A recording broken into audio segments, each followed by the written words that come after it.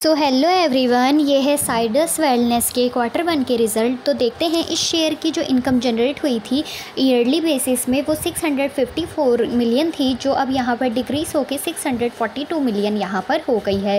Quarterly basis में income जो है डिक्रीज़ हुई है यहाँ पर। आगे हम इस शेयर के जो है एक्सपेंसेस को देख लेते हैं। ईयरली बेसिस में एक्सपेंस जो है 574 मिलियन थे, जो अब यहाँ पर डिक्रीज़ होके 538 मिलियन हो गए हैं। यानी इनकम के साथ साथ एक्सपेंसेस भी जो है डिक्रीज़ हुए हैं।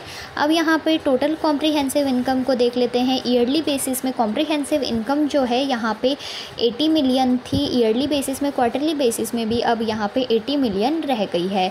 आगे हम इस शेयर के अर्निंग पर शेयर को भी देख लेते हैं।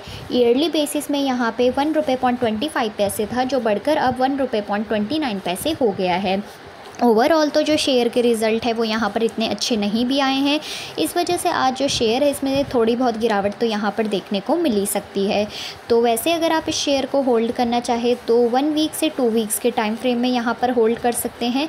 मैक्सिमम टारगेट जो है वन थाउज़ेंड फाइव हंड्रेड रुपये के अराउंड रहने वाला है।